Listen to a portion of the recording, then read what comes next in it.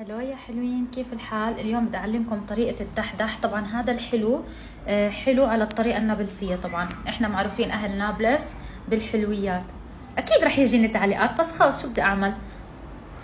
هلأ أول إشي بدنا نعمله بدنا نحضر آه، العجينة تاعتها. طبعا العجينة هي عبارة عن ثلاث طبقات. العجينة الأساسية تاعتها لازم أعملها قبل عشان تتخمر ويفتح سميد رح نحتاج لكوبين سميد طبعا هي بدها سميد ناعم أنا ما عندي غير سميد يعني متوسط فبيزبط يعني. بس الأفضل إلها سميد ناعم تمام؟ رح أحط على السميد المكونات الجافة اللي هي رح أحط لها معلقة حليب بودرة تمام؟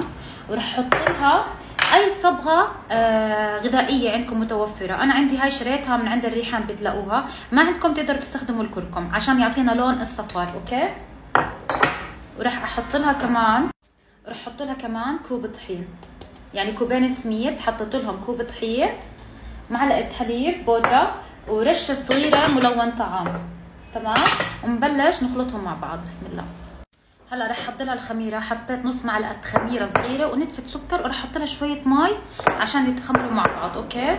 هلا شوفوا بدنا نبس السميد أول إشي بسمنة. رح نحتاج نص كوب سمنة. طبعا الأفضل نص كوب سمنة وهي بتطلع أزكى مع السمنة. في ناس بيقدروا يحطوا زبدة أو زيت نباتي بس الأفضل وأذكى اللي هي تكون السمنة. واسمعوا عشان ينجح معكم السميد يتشرب السمنة لازم تكون السمنة شوي دافية. بسم الله.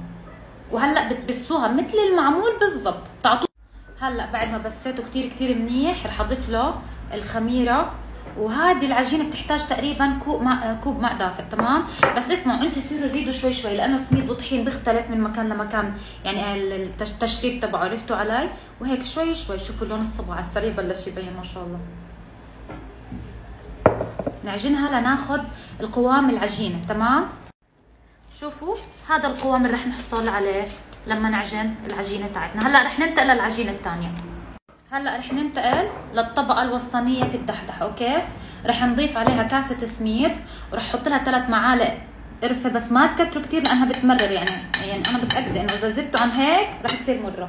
وراح أحط لها كوب سكر بودرة. شوفوا هي لما تاكلوها بالمحلات الجاهزه بتكون بتقرش يعني قرشه السكر مو زاكية. فأنا بستخدم لها السكر البودرة عشان ما تحسوا بهاي الطعمة. هلا أنتم بتقدروا تتحكموا بالحلاوة تاعتها. بصراحه أنا حطيت ثلاث أرباع الكوب ولكن هي الوصفة الأصلية كوب كامل تمام؟ راح نحط كوب حليب سكر بودرة وراح أحط لها معلقتين سمنة. بسم الله الرحمن الرحيم. وراح أضيف لها مكونات تزيد النكهة تاعتها. راح أحط لها شوية جوز الهند. تمام؟ حسب الرغبة جوز الهند الخشن. وراح أضيف لها جوز مطحون. Okay? وهلأ رح نعجنها بشو؟ بالقطر. هلا اجينا للجزء الثاني من الطبقة الثانية تاعت الدحدح okay? هلا شوفوا طريقة عجن الدحدح الطبقة الوسطانية بالقطر رح يكون عيار القطر.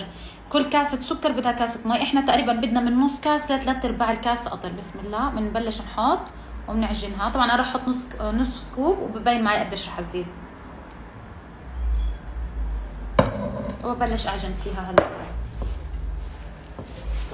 هلا القالب اللي راح أشوي فيه الدحدح رح ادهنه بالطحينيه هي الأفضل وهيك رح يكون قوام الحشوه الوسطانية وهي العجينة جاهزة. هلا رح أقسمها نصين أفرد أول نص بالقالب عشان أحط الحشوه فوقيها. هلا ببلش أحط الحشوة بالمنتصف بس شوفوا بدي منكم شغلة ما بنقرب على الحواف تاعون العجينة تمام؟ عشان ما تنحرق. رح نبلش نحط الطبقات زي هيك.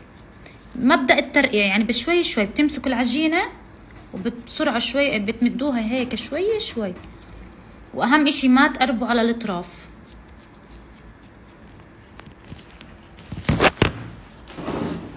قمر مين علمك الطبيخ والحلويات؟ والله تعلمت من كيس أهلي وكيس دار حماية خبصت كتير لتعلمت بصراحة. يعني الواحد يتعب حاله عشان يتعلم. والله عم بفكر ولا بديش أحكي أفكر. حبيبتي هيني عم بش بسوي شوي شوي عمري. هلا رح أورجيكم أنا رح نزل فيديو يا عمري. القالب دهنته يا روحي رح يكون شكلها زي هيك بالضبط. الحواف ما بنقرب عليهم الحشوة. وهلا بنكمل بقية العجينة بنحط الطبقة الأخيرة. هلا كيف بنسويها بنبلش نمد العجينة زي هيك وبنبلش نحطها فوق الطبقة. من يعني نفس الإشي كلها ترقيع بترقيع. بتمدوا العجينة كتير كتير منيح وبتبلشوا تحطوها على الزوايا وبنصفتها هاي أول طبق هيك. وبنرجع ناخذ كمان شقفة وبنرجع بنعملها. هلا الخطوة الأخيرة رح انقشها طبعا التشكيل اللي أنتم بتحبوه أنا رح انقشها على طريقتي. هلا بحطها بالفرن على حرارة 180 قبل ما يتحمر الداير. بنعرف إنها تحمرت أوكي؟ الشكل تبع الدحدح بس طلعت من الفرن. شوفوا ما شاء الله. بتجنن. هلا أنتوا الزينة بدكم إياها أنتوا بتحطوا عليها. أنا رح أحط لها شوية جوز هند. شوفوا ما شاء الله شكلها. تبارك الله بتجنن. هلا بقسمها وبورجيكم شكلها. شوفوا الحشوة كيف من جوا. طبعا أنا اضطريت أقسمها وهي سخنة عشان أورجيكم الشكل النهائي تبعها.